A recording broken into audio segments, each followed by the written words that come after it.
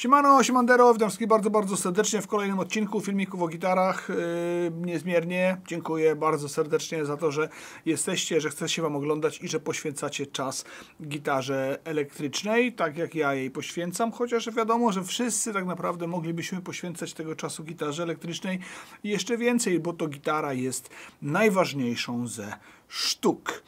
W dzisiejszym odcinku chciałem Wam znowu pokazać polską gitarkę e, firmy Mensinger. Polska gitara z Podhala, która jest no, wyprodukowana w bardzo, bardzo konkretny sposób. I tutaj zapraszam wszystkich tych, którzy jeszcze nie widzieli odcinka o e, fabryce Mensingera, żeby, żebyście tam sobie weszli i obejrzeli ten, ten film, no bo jest to nietuzinkowa fabryka, nietuzinkowa manufaktura y, o takim sznycie.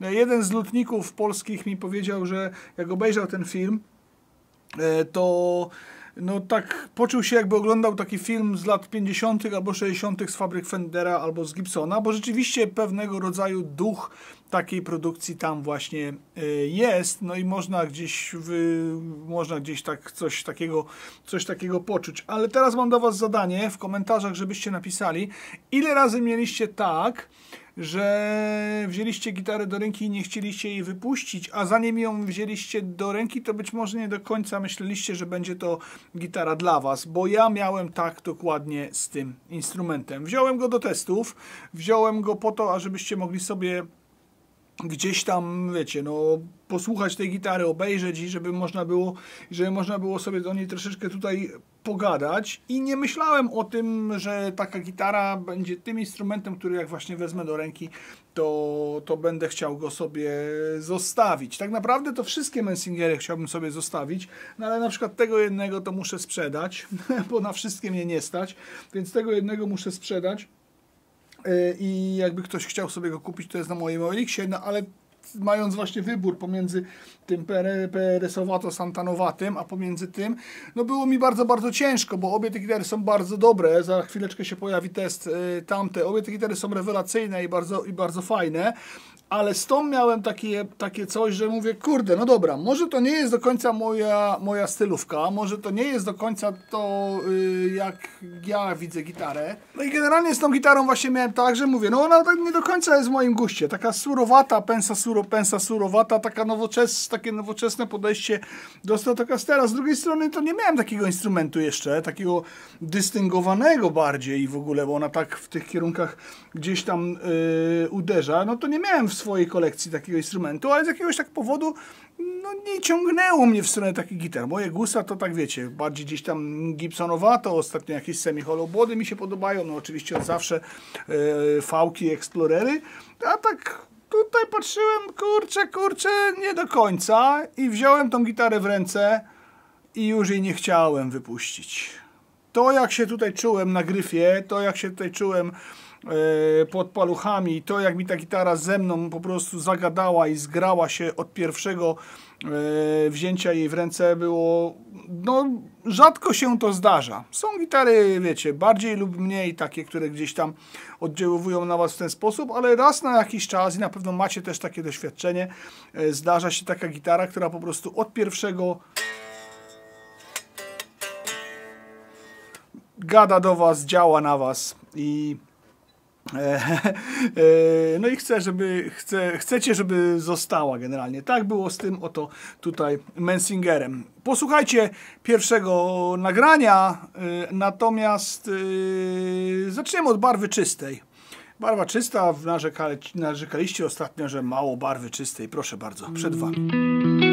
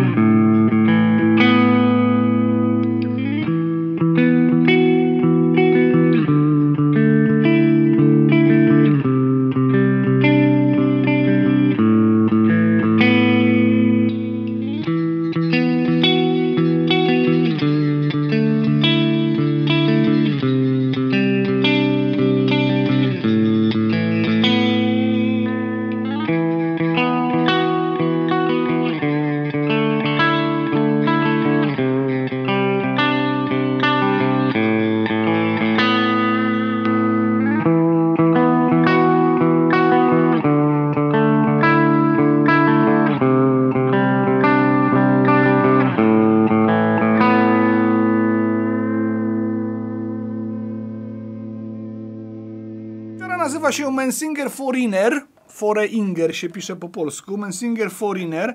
Yy, jeszcze jest taka gitara, która nazywa się Mensinger Lizard i one są do siebie tak jakby troszeczkę bliźniacze, bo są to dystyngowane yy, gitary wychodzące od Stratocastera, nie do końca będące takim super stratem. Tak wiecie, ten Guthrie Govan gdzieś tutaj maczał swoje palce w tym, w tym designie. Oczywiście nie tylko on, no bo to, to nie jest taki, taki design, który gdzieś tam Guthrie Govan, wymyśl, Govan wymyślił, natomiast no, na pewno jest to gitara taka wychodząca przed szereg, jeżeli chodzi o straty, o super straty, gdzieś nawiązująca do tradycji, a jednocześnie też będąca znakiem naszych ostatnich e, czasów. I no to tutaj to na pewno nie trzeba powiedzieć, że jest to taki instrument dystyngowany dla takich osób, które chcą mieć naprawdę bardzo ładny e, kawałek y, drewna, a nie tylko dobre brzmienie i chcą mieć coś zupełnie innego niż wiecie, taki pomalowany gdzieś tam lakierem instrument. Y, ten Lizard różni się od Foreignera tym, że ma ruchomy mostek. Tutaj mamy mostek stały, ale oba te designy są bardzo podobne, różnią się też od siebie yy, główką. Główka tego instrumentu jest bardzo ważnym elementem, bo główka jest odchylona, yy, co w takich gitarach fenderowatych nie do końca jest yy, spotykane. Główka jest odchylona yy, pod kątem w ten sposób, po to, żeby nie trzeba było tutaj nic napinać strunami, więc ten kąt główki, taki powiedzmy jak na przykład w gibolach jest, powoduje, że tutaj nie ma żadnych drzewek, nie ma żadnych napinaczy i to, i to oczywiście wpływa pozytywnie według niektórych na na brzmienie, no nie wiem, nie robiłem eksperymentów z drzewkiem, bez drzewka i tak dalej, i tak dalej. Aż tak bardzo w gitarze elektrycznej, mimo wszystko, co się tutaj dzieje, to ja nie grzebę i nie szukam, wiecie, komponenty e, takiej, która gdzieś tam, nie wiem, śrubka jest z czegoś innego e, na, na główce, albo jest wózeczek, albo e, co, coś zupełnie innego, ale no jest to rozwiązanie takie, które powoduje, że ta gitara na pewno stroi, ta gitara na pewno gra i tutaj wszystko jest, wszystko jest e, tak jak być tak jak być powinno. Jest to na swój sposób nietuzinkowy, więc przy wyborze tego instrumentu na pewno musicie zwrócić uwagę. Teraz powiem wam szczerze, jak tak sobie myślę, to nie wiem, czy to samo jest, jeżeli chodzi o e, tego, tego Lizarda, czy tam też jest taka główka. Na pewno tam jest główka w innym kształcie, więc sprawdźcie sobie na stronce Mensingera, obejrzyjcie jakie mają te gitary i, i zobaczcie, czy, czy w Lizardzie też jest tak, czy jest jednak bardziej e, płasko z napinaczami. To drugie zadanie. Macie kilka zadań dzisiaj w komentarzach. Jesionowy korpus. Orzechowy top. Nie wiem jak jest ten top gruby, nie wiem jak bardzo tutaj E, mamy do czynienia z topem, a jak bardzo mamy do czynienia z fornirem. Jeszcze nie rozkręcałem tego instrumentu, nie odkręcałem pick-upów. Wiem, że są to przetworniki Heusel, niemieckie, Hausel, e, ale też nie wiem na przykład jakie modele, bo nie ma tego napisane e, z tyłu na, na główce. Zastanawiam się nad wymianą tych ramek na srebrne, chociaż z drugiej strony, bo mam akurat srebrne ramki, chociaż z drugiej strony wtedy nie wiem, czy nie będzie tutaj za dużo tego srebrnego, natomiast no ładnie się też, te, te rameczki się ładnie z tym bindingiem tutaj e, komponują, więc jak kiedyś ją będę wymieniał struny, to w, w odcinkach miszmaszowych oczywiście Wam powiem, nie wiem jak to jest z tym topem tutaj, czy jest on bardzo gruby, czy jest e, niegruby, czy jest cienki, czy jest na grubym cieście, czy na czy na cieście e, cienkim. Jak będzie odcinek jakiś miszmaszowy, może niekoniecznie ten najbliższy, to gdzieś tam przy wymianie strun, bo tutaj cały czas są jeszcze e, fabryczne struny, sprawdzę i zobaczę jak to, jak to jest grube. Jak wiecie, kawałki drewna w Mensingerze na podhalu leżą długo, są naprawdę sezonowane i nie jest to żadna ściemka, że że wiecie, że tam jakoś są chemicznie suszone, czy tam w jakikolwiek inny sposób gdzieś tam e, prażone. Jest to rzeczywiście e, prawdziwe sezonowane drewno, jak w najlepszych fabrykach i w najdroższych instrumentach, a instrumenty nie są jakoś specjalnie drogie, więc nawet jeżeli to jest jakiś tylko i wyłącznie e, kawałeczek forniru, to myślę, że i tak tutaj ten Jesion robi robotę swoim, swoim wysezonowaniem. Yy, powiem Wam, że też przepiękny, gęściutki kawałeczek klonu, jeżeli chodzi o, yy, o gryf. Yy, no i też urzekło mnie w tej gitarze właśnie to, że tutaj jest ten gryf z klonową podstronnicą. To też miało jakiś taki, e, kurczę, tak już ostateczny, ostateczny cios, bo mało mam instrumentów z klonową podstronnicą. Właśnie, posłuchajmy trochę takiego bardziej metalowego e, grania w tym momencie. heavy metalowego bardziej. Tak mi się wydaje przynajmniej.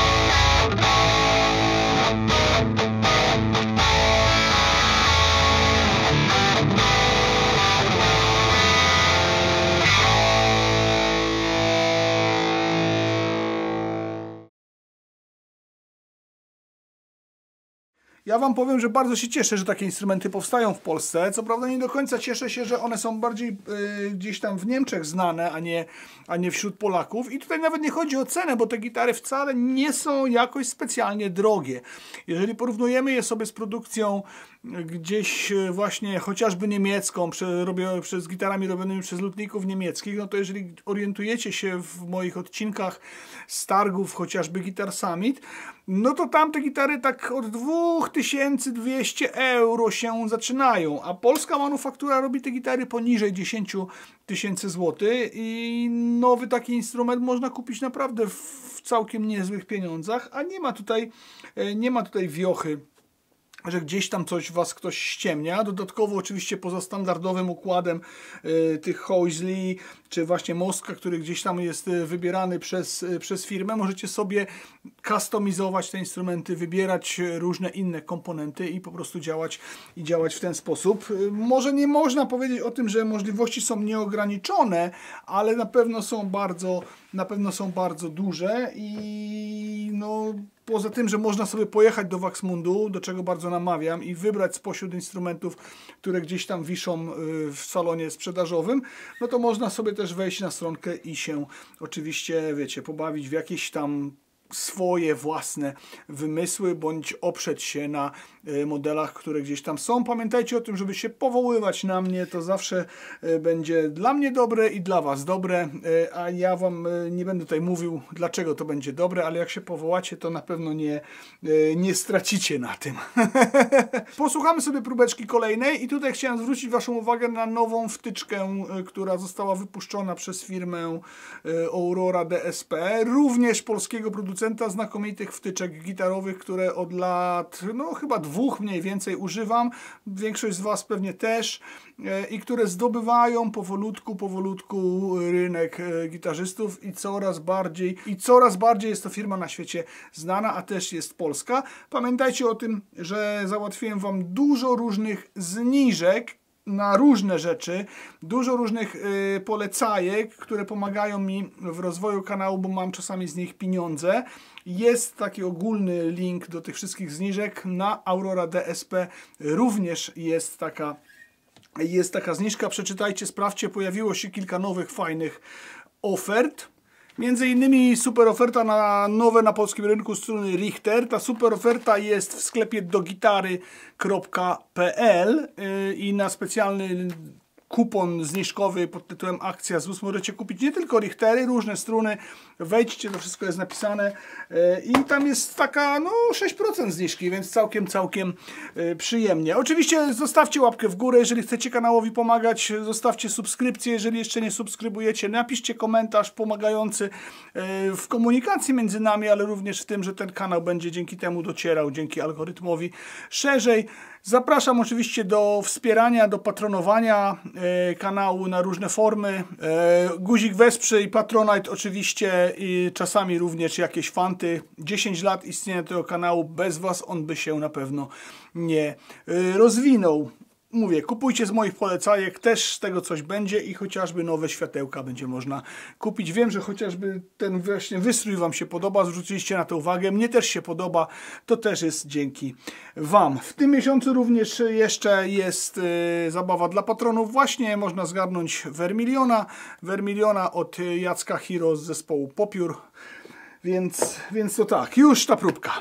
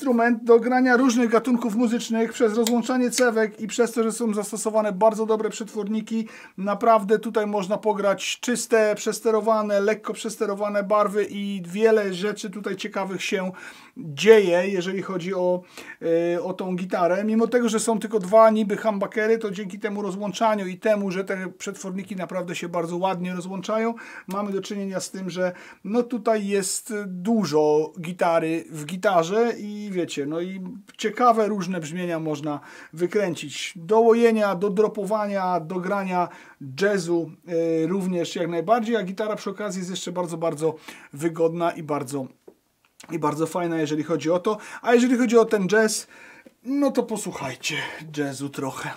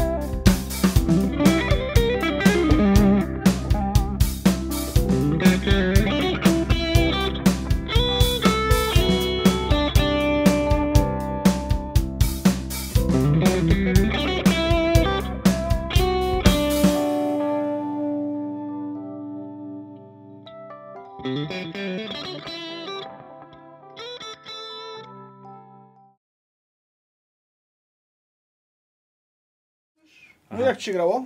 Wiesz co, bardzo fajna jest ta gitarka. Yy, ta barwa, ta tutaj, wciśnięte i ten przetwornik. No. Czuć, że, że taki jest ten respons, jest taki fajnie jest uderzenie i nie ma takiej, wiesz, i, i on ten dźwięk tak fajnie płynie, no. To trzeba odczuć po prostu, wiesz, to trzeba po prostu wziąć gitarę i, i zagrać. Zarąbiste jest to brzmienie tutaj, yy, ale, Rozłączona cewka. ale rozłączona cewka to jest po prostu cewka taka, że rewelacja. No rzeczywiście jest tak, są gitary, które mają, bo ta gitara ma 100 tysięcy brzmień, ale też mam gitary w domu, które mają 100 tysięcy brzmień i gram na jednym. I to jest właśnie to brzmienie, nie? Że gdzie mam, gdzie mam tu i rozłączoną, cewkę. Bardzo fajnie to brzmi, no po prostu jest taki trochę kotsen, ja lubię to brzmienie, e, ale też bardzo lubię w tej gitarze tą pozycję, że jest humbucker po prostu tutaj. Jest taka, taka wrzeszcząca, ja sam jestem taki trochę wrzeszczący, taka agresywna, ale no nie, nie, nie kłuje, nie kłuje. Fajna jest. No i poza tym grywalność na tej gitarze jest, jest, jest, jest, jest rewelacyjna. Yy, ten profil gryfu Wiecie, na dzisiaj się nie wygłupiałem, bo jestem dzisiaj zmęczony, ale, ale można o wiele jeszcze więcej na niej zagrać, bo to ona, ona zostawia przestrzeń do wypowiedzi i łatwo się gra, nie, niezwykle łatwo. Wiesz, widzę, że bardzo ładny kawałek drewna tutaj jest. A, no fajnie, że no, gęste słoje i równe. No, dlatego gitara gra. W ogóle fajnie jest wykonana. Fajnie leży, nie jest ciężka, a tutaj tak wiesz, ona przylega fajnie, nie? Yy, amerykańska firma? Nie. Polska. Polska. No, czyli potrafimy jednak tworzyć wiesz, fajne, fajne wiosła.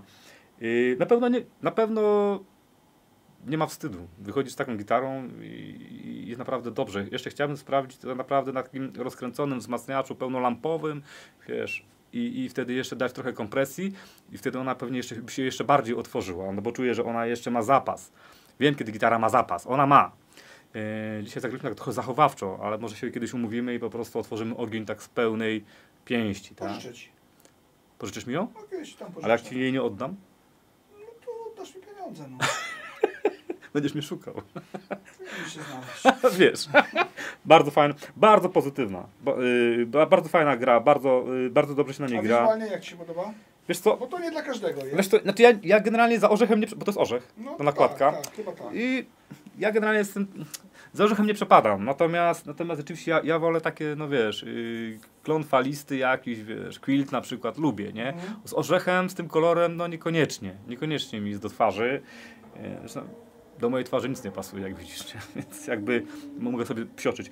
Natomiast, wiesz, no jak- jakby no orzech nie bardzo, natomiast w brzmieniu, znaczy mówię o wizualnej stronie, natomiast tutaj się sprawdza, no.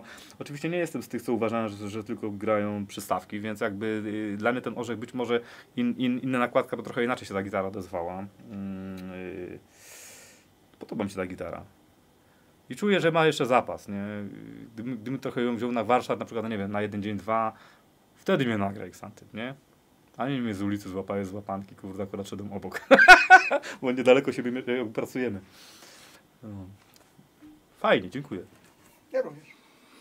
Gryf w gitarze wygląda tak. To jest profil tego, to jest profil tego gryfu. Poczekajcie, stanę się tłem. To czego chcesz jest tłem. Nie wiem, czy to jest dobre, czy jestem dobrym tłem. W każdym razie, no tak wygląda tenże oto, tak wyglądał oto ten gryf. To jest próg pierwszy. Raczej bym powiedział modern C, raczej bym powiedział nowocześnie, raczej bym powiedział, że zadowoli to nie tylko tych, którzy już potrafią grać na Stratocasterze, ale wszystkich tych, którzy chcą grać na gitarach, które są troszeczkę od Stratocastera jednak e, bardziej, bardziej gdzieś tam wygodne. No fajny, fajny. Zresztą no, nie będę ukrywał, że manualnie ta gitara też zrobiła na mnie po prostu bardzo dobre wrażenie od samego e, wzięcia jej w łapska, więc e, to był też jakiś tam element, który spowodował, że tą gitarę chciałem, chciałem po prostu sobie zostawić i chciałem ją mieć. Jeżeli chodzi o grubość, Jeżeli chodzi tego o grubość tego gryfu w okolicach progu pierwszego niecałe 21 mm, czyli tak jak mówiłem, nowocześnie i cieniutko raczej, ale nie jest to ibanezowski, nie jest to taka ibanezowska cienizna. Tutaj czuć w ręku, że coś mamy i to jest fajne tak naprawdę. Bardzo podobnie na progu piątym. Eee, w granicach, w granicach tego samego, właściwie dokładnie identycznie w granicach mojej miarki. Yy, 21,6 na progu dziewiątym. Yy, tutaj muszę zdjąć taśmę na 12 22 mm, więc jak mówię, no do samego końca jest właściwie gdzieś tam jeszcze możemy na 15 23,4 na 15, więc to jest więc to jest cieniutko i to jest wygodniutko i to jest nowocześnie, ale z zachowaniem tego takiego tradycyjnego vibe'u gdzieś tam na pewno yy, również. Jeżeli chodzi o szerokość, to na siodełku 41,8 43 na progu pierwszym, 47 na progu piątym, na dziewiątym 50,03, 52,3 na 12 i na samym końcu gryfu 57 mm. W tej gitarze akurat są Syntomsy yy, raczej tak takie bym powiedział, no nie nazwałbym ich jumbo, medium, progi takie, progi takie medium, oczywiście bardzo ładnie, bardzo ładnie oczywiście wykończone i do niczego tutaj się nie można przyczepić. Znają w Waxmundzie gitarki e, robić. Posłuchajcie drugiego kawałka.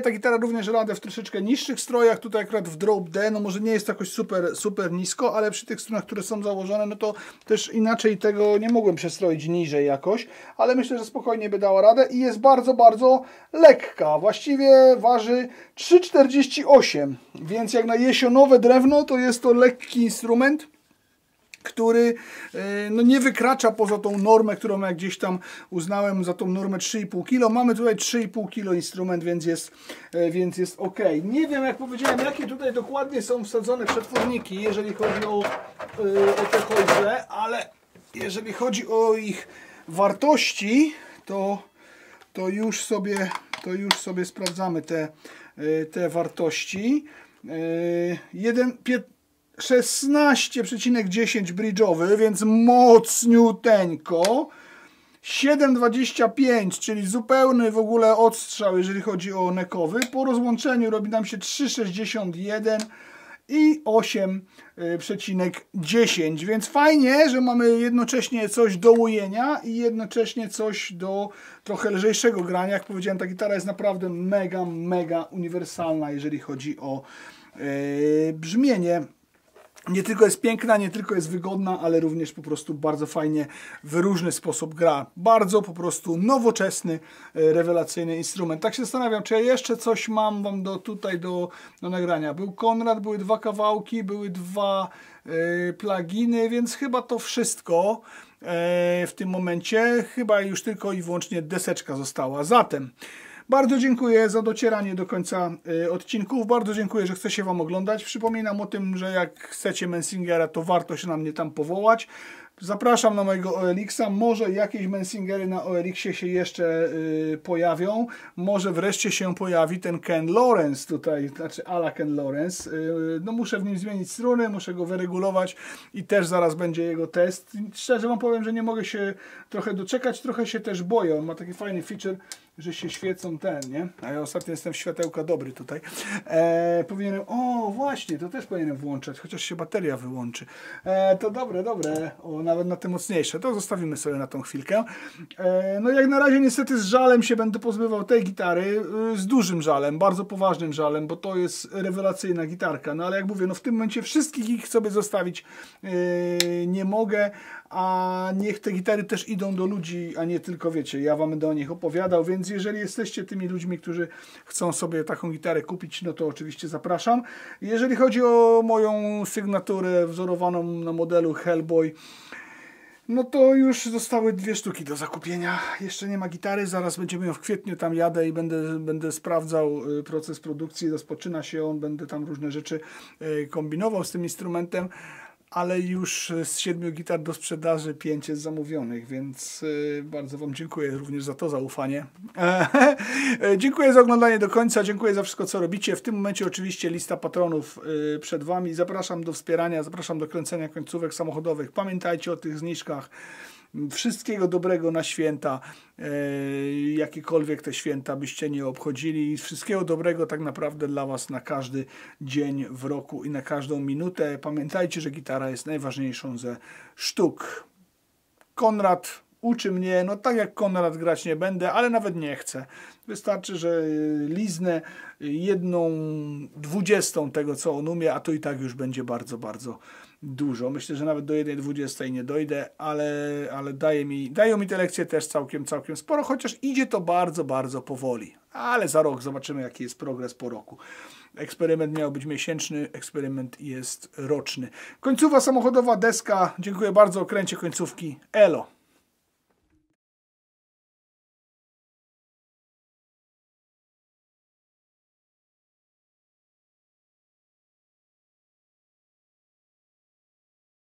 Te deski jak zwykle kosteczkami od Epoxy Rising, chociaż dzisiaj akurat truskaweczką.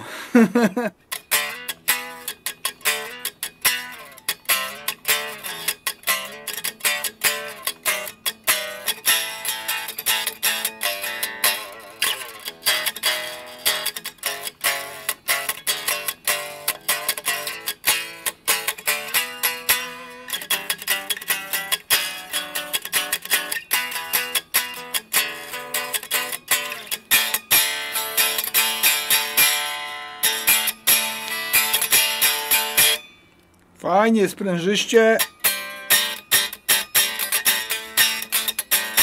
Z atakiem.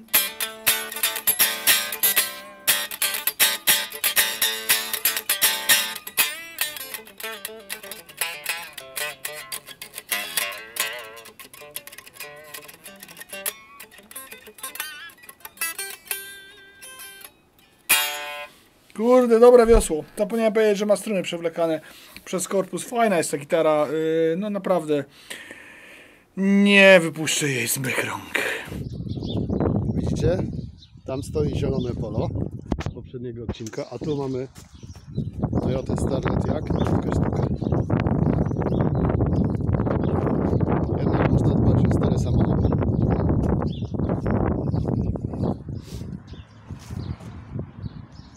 Proszę bardzo, jak nówka. A tam dla spostrzegawczych czai się kolejna bryka. 3, 2, 1. Kto zgadnie, co widać tam dalej w tle?